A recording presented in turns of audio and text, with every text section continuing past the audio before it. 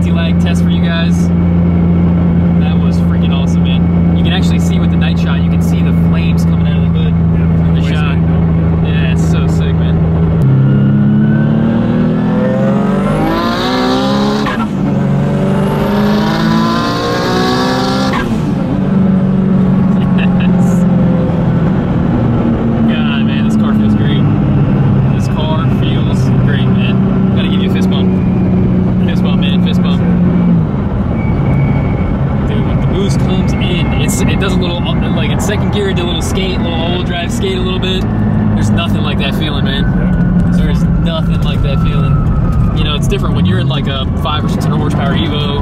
It sometimes can get a bit boring because you just full traction and you know it's doesn't really do much. But at this horsepower level, when an all-wheel drive car is just skating around a little bit, it's just magical. and most people watching the video just won't understand. it's hard to explain, and maybe sometimes it doesn't show through the camera, but it's an awesome experience.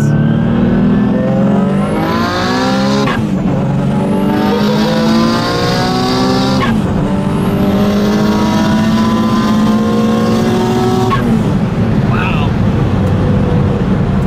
Wow, man. This thing boogies in fourth. This thing boogies in fourth.